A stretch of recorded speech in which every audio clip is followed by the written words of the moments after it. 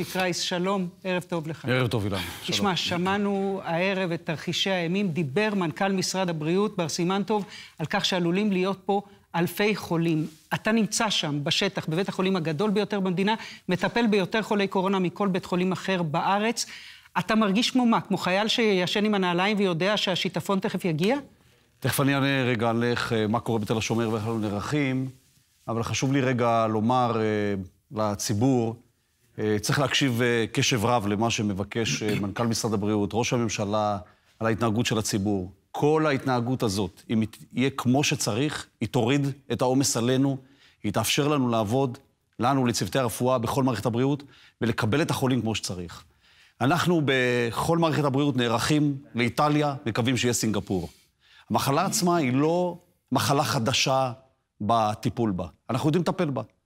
כל מה שיקבע את ההצלחה שלנו בטיפול בחולים האלה ויוריד את אחוזי התמותה, זה כמה מטופלים יגיעו ובאיזה קצב הם יגיעו. אז אם באמת התחזיות האפוקליפטיות של הערב נכונות, אם בסוף החודש הזה עלולים להיות פה עשרת אלפים חולים, אתה ערוך למצב שתצטרך כמו רופא באיטליה להחליט את מי להנשים ואת מי לא? אנחנו נעשה כל מה שאנחנו יכולים כדי לקבל את ההחלטות הנכונות. קודם כל, עד רמה מסוימת, בקצב מסוים אנחנו יכולים לטפל בכולם ולהציל חיים.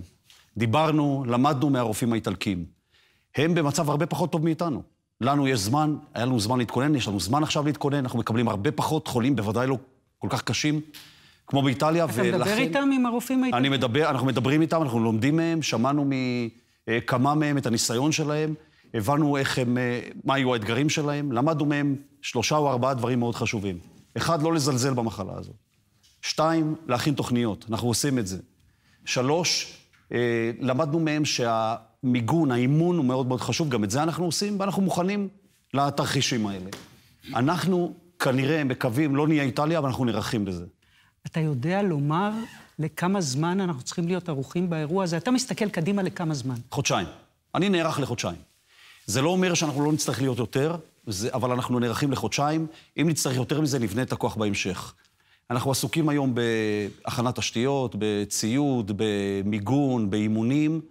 אה, אני חושב שהצורה שבה נכנסנו לעניין, בגלל ההתנהגות של הציבור, בגלל הבידוד, בגלל יכולת ההפחתה, מביאה אותנו למצב שנוכל להיענות לאתגר הזה יותר טוב ממה שראיתם במקומות אחרים בעולם. אני רוצה שנדבר אחר כך גם על התרחישים האלה, גם על מה שקורה בשטח, גם על הצוות הרפואי, שחלק גדול ממנו בבידוד, גם בגלל בעיות בציוד מגן.